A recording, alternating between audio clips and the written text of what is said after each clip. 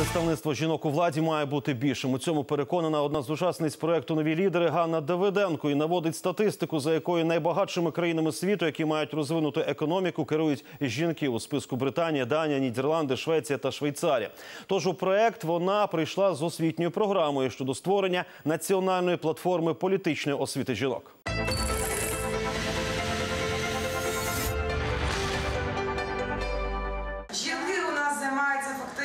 Усіма побутовими проблемами, знаходять собі сили, можливості і вирішують їх, а керують чоловіки. Ганна Давиденко, депутатка Вінницької міської ради, впроваджує національну платформу політичної освіти жінок. Як проректор університету Україна кілька років вивчає досвід Швеції. 43% депутатів у цій країні жінки, а в уряді їх половина. Депутатка демонструє карту світу, на якій вказана політична роль жінки. Україна на ній не у виграшній позиції. Станом на момент створення цієї карти, е, тобто 1 січня 2017 року, е, за оцінками міжнародної спільноти в Україні е, жінок, залучених в політику, було менше 15%.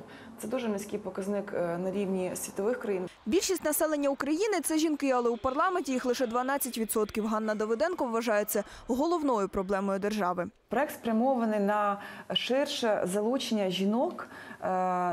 Для того щоб впливати на ті процеси, які сьогодні відбуваються в країні, За переконанням жінки, її програма запустить процеси докорінної зміни в культурі прийняття політичних і адміністративних рішень.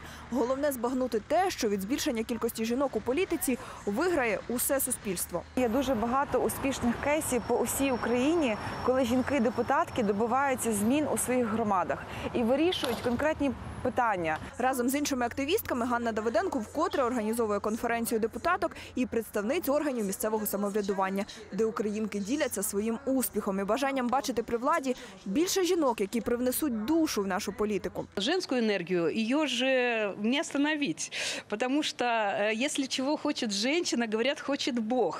Поэтому м, новые лидеры дадут э, новое звучание миссии Украины в мире. Але насправді стать у політиці не має значення. Головне, каже пані Ганна, це зміни, які повинні покращити життя людей. Людмила Цимбалюк, Анатолій Дмитрієв. Факти. ICTV.